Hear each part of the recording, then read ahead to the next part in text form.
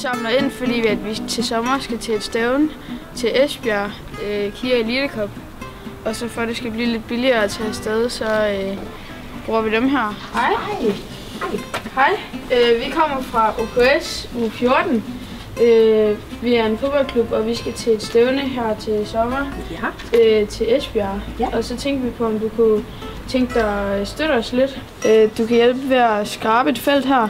Ja. Og så står der et beløb fra 5 til 25 kroner. Og det er så det, du betaler. Og så får du sådan en kupon her. ja. Så afhængigt af, hvad jeg skraber, der Yes. finder jeg man ud af, hvad jeg skal betale for det. Ja. ja. Og du kan også betale med MobilePay, hvis ikke lige du har kontanter. Jeg har MobilePay, så det er det, vi gør. Men det vil jeg gerne. Yes. Ja. Vi har valgt supportskrab, fordi at vi har nu er af, at er en rigtig god løsning for at samle penge ind til øh, en hvilken som som, som vi skal bruge. Og i vores forhold så er det et fodboldhold, som vi skal have penge til, øh, til forskellige stævner.